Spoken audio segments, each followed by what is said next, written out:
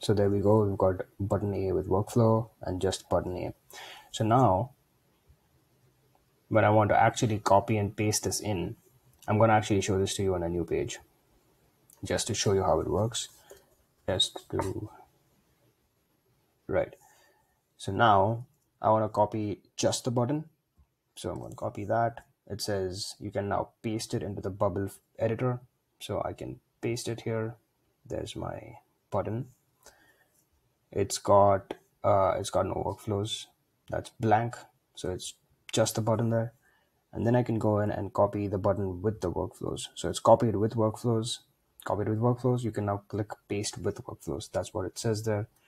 So I can go in and say paste with workflows. So now on this guy, if I look at the workflows, I'm going to see exactly what I'd set up earlier.